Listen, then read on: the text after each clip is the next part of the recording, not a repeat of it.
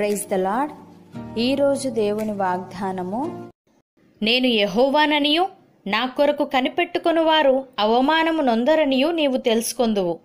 యష్యా గ్రంథము నలభై తొమ్మిదవ అధ్యాయము ఇరవై మూడవ వచనము.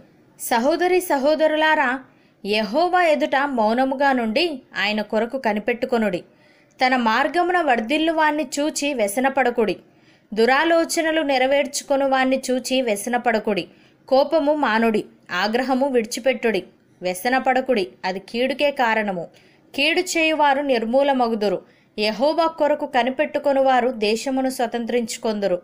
భక్తుడు ఈ విధంగా అంటున్నాడు యహోవా నీ దిక్కునకు చూచి నా ఆత్మను ఎత్తుకొనుచున్నాను.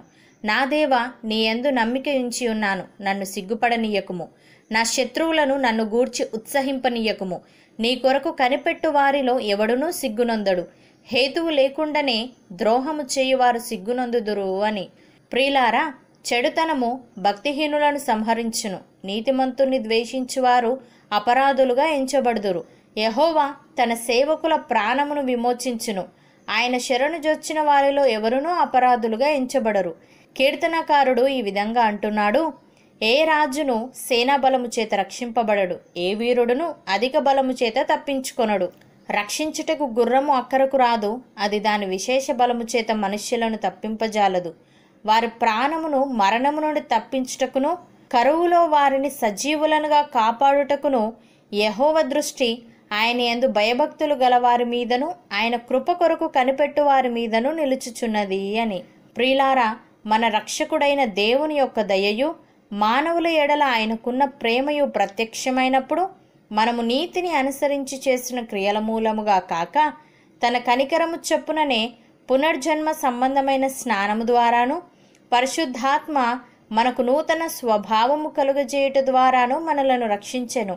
మనం ఆయన కృప వలన నీతిమంతులమని తీర్చబడి నిత్య జీవమును గూర్చిన నిరీక్షణను బట్టి దానికి వారసుల మగుటకై ఆ పరిశుద్ధాత్మను మన రక్షకుడైన యేసుక్రీస్తు ద్వారా ఆయన మన మీద సమృద్ధిగా కుమ్మరించెను. అపోస్తలుడైన పౌలు ఈ విధంగా అంటున్నాడు విశ్వాసమూలముగా మనము నీతిమంతులముగా తీర్చబడి మన ప్రభువైన యేసుక్రీస్తు ద్వారా దేవునితో సమాధానము కలిగి ఉందము.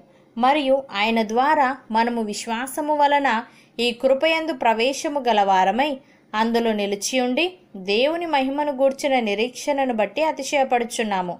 అంతేకాదు శ్రమ ఓర్పును ఓర్పు పరీక్షను పరీక్ష నిరీక్షణను కలుగజేయునని ఎరిగి శ్రమల యందును అతిశయపడుదము.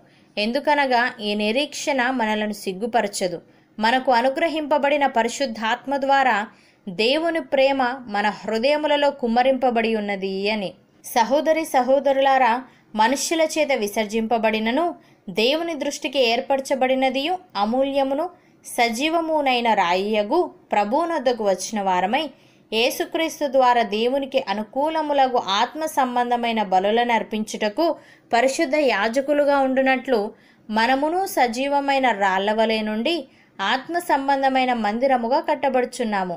ఏలయనగా ఇదిగో నేను ముఖ్యమును ఏర్పరచబడినదియు అమూల్యము నగు మూలరాతిని సియోనులో స్థాపించుచున్నాను. ఆయన ఎందు విశ్వాసముంచువాడు ఏమాత్రమును సిగ్గుపడడు అను మాట లేఖనమందు వ్రాయబడి ఉన్నది. విశ్వసించుచున్న మనకు ఆయన అమూల్యమైన వాడు. విశ్వసింపని వారికైతే ఇల్లు కట్టువారు ఏ రాతిని నిషేధించిరో అదే మూలకు తలరాయి ఆయను. మరియు అది అడ్డురాయియు అడ్డుబండయు ఆయను.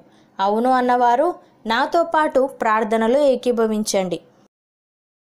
పరిశుద్ధుడా ప్రేమగల తండ్రి నీ కొరకు కనిపెట్టుకుని వారిలో ఎవరునూ సిగ్గునొందరు గనుక నీకు స్తోత్రములు. తండ్రి మేము నీ అందు భయభక్తులు కలిగి నీ కృప కొరకు కనిపెట్టుకునే వారముగా ఉండుటకు సహాయము దయచేయమని మేము నీ మహిమను గూర్చిన నిరీక్షణను బట్టి అతిశయపడుతూ శ్రమ ఓర్పును ఓర్పు పరీక్షను పరీక్ష నిరీక్షణను కలగజేయునని ఎరిగి శ్రమల ఎందునూ అతిశయపడే వారముగా ఉండుటకు కృపచూపమని యేసుక్రీస్తు నామమున ప్రార్థిస్తున్నాము తండ్రి. ఆమెన్.